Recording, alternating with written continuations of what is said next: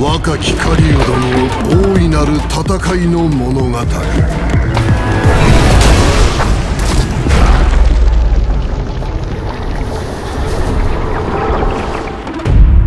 狩人は愛する弓使いと共に襲い来る怪物から故郷を守っていた。遠投砲を構え愛する者が傍らにいる時狩人は無敵だと思えた。かし弓使いは幾度となく狩人に戦術をもってその力を使うべきだと助言した。若き狩人は気づくことができなかった。うぬぼれという恐ろしい怪物に。そして弓使いは新たな冒険へと旅立った。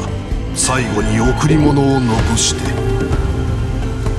狩人はようやく気づく。傲慢という怪物に。弓使いは正しかったのだ。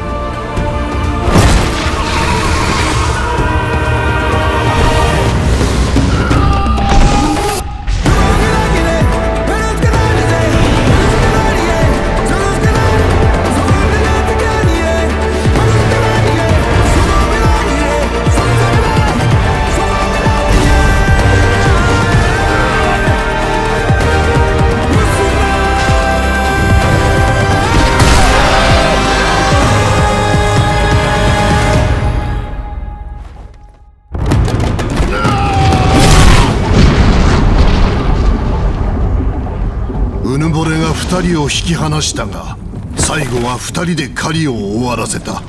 こうして若き狩人は最大の敵を倒したのだ。